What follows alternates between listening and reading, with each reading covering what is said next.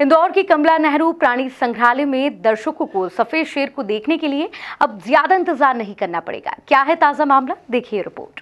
दरअसल कुछ साल पहले प्राणी संग्रहालय में सफ़ेद शेर की सांप के काटने से मौत हो गई थी। तभी से चिड़ियाघर कुछ खाली खाली सा हो गया था, क्योंकि सफ़ेद शेर को देखने के लिए दर्शकों को खासा उत्साह होता था। अब जू में इनकी कमी को पूरा करने के लिए नए मेहमानों को बुलाने की कवायद में इंदौर जू प्रभारी ने सेंट्रल जू अथॉरिटी को पत्र लिखा है।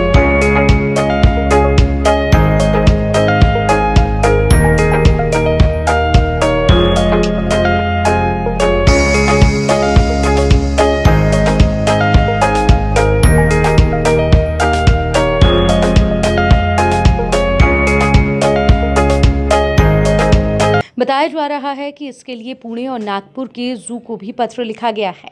वहीं कई जू इंदौर को एनिमल एक्सचेंज प्रोग्राम के तहत सफ़ेद शेर देने को राज़ी भी हो गए हैं, जिसके बाद इंदौर में अलग से बनाए जा रहे सफ़ेद शेर बाड़े का काम पूरा होने के साथ ही जू में सफ़ेद शेर को लाने की भी सभी कागज़ी तक कार्रवाई शुरू हो गई है। देखिए वाइट टाइगर को अभी एनक्लोजर जो हमारा as per central authority guideline under construction है। और जब वो बन जाएगा तो उसके बाद एक दो महीने की प्रक्रिया रहेगी जिसमें हम लोग सेंट्रल जो अथॉरिटी को उसका प्रपोजल भेजेंगे।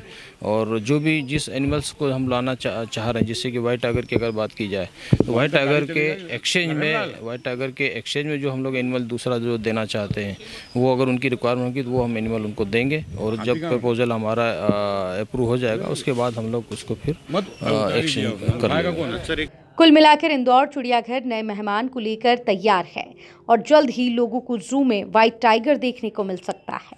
Bureau report, MP news, Indore.